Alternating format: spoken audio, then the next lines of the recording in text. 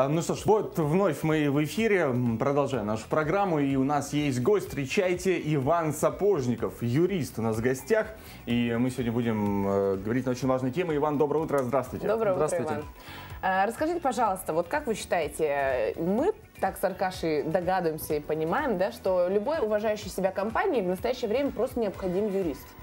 Стоит ли нанимать постоянного сотрудника или все-таки можно обратиться ам, к специалисту из другой компании? Ну да, наша жизнь устроена так, что так или иначе она всегда проходит в поле гражданско-правовых отношений. Так. И если вы ведете коммерческую деятельность, и ваша цель извлечения прибыли, стабильная и постоянная, э, то юридическое сопровождение вам просто необходимо. Э, Не всегда есть возможность э, нанять специалиста себе в штат, либо содержать группу работников.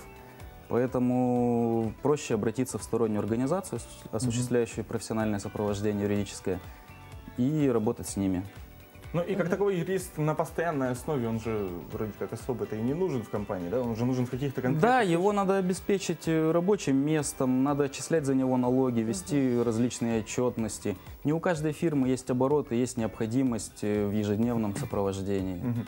А, тогда такой вопрос возникает. Человек, который находится вне компании, да, который, так сказать, не видит всех ее документов, не знает, там, э, чем она занимается, чем юрист вот такой может помочь? Он какие услуги оказывает?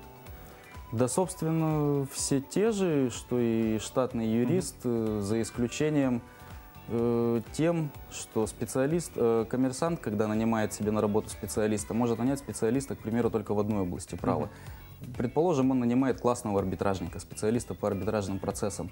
Но в ходе осуществления своей деятельности у работодателя возникает, э, к примеру, трудовой спор с каким-то из своих работников. Его юрист в этой теме маленько плавает, чувствует себя неуверенно, дело проигрывается, предприниматель несет убытки репутационные, несет финансовые потери. Э, Вот в этом случае выгоднее обращаться в стороннюю организацию, где заниматься будет им группа специалистов, э, каждый из которых специалист э, в своей области права. Ну тогда То так- возникает э, следующий вопрос, как все-таки грамотно нанять грамотного специалиста и на что опираться при выборе?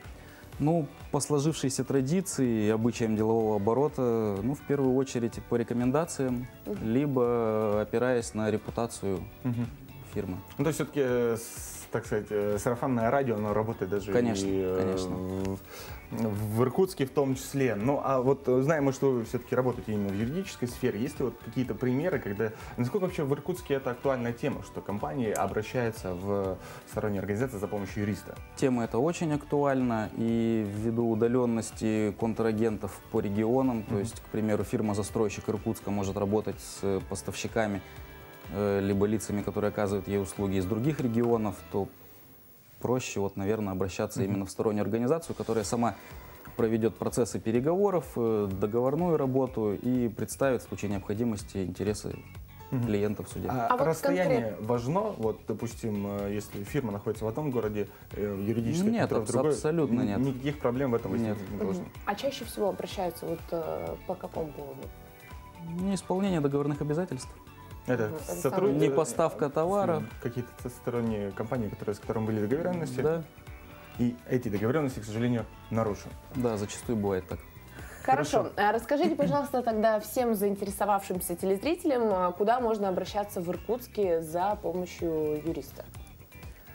Я советую обращаться в Центр информационной безопасности. Мы расположены по адресу город Иркутск, улица Советская, 45, дробь 3. Наш телефон 7 49 2. А большой ли штат юристов в вашем центре?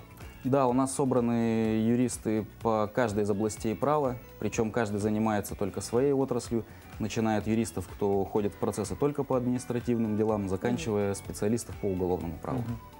То есть, в принципе, человек, э, который занимается каким-то бизнесом, может вообще не беспокоиться, прийти. А есть какой-то человек, который ведет, допустим, э, значит, кон- конкретную организацию и уже потом распределяет дела по какому-то Да, конкретному и в юристу. случае необходимости э, создается заседание, мозговой штурм проходит, все проблемы клиента решаются. Ну и чтобы уже окончательно убедить наших телезрителей в том, чтобы они а, выбрали именно Центр информационной безопасности, э, стаж э, сотрудников, вот насколько он высок? От пяти лет, э, причем от пяти лет именно ведение самостоятельной практики, успешной самостоятельной практики, То есть профессионалы своего дела. конечно.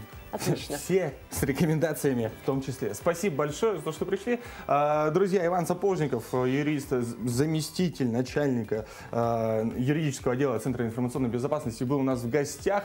Если вдруг вы собираетесь открывать свой бизнес или компанию, а у нас сейчас в наше время, мне кажется, без этого вообще никак нельзя, а, то насчет юристов можете не беспокоиться и прям сразу в Центр информационной безопасности. Спасибо большое за то, что пришли. Было очень интересно Спасибо. поговорить. Ну а мы продолжаем нашу программу, смотрим рубрику «Сегодня вечерком».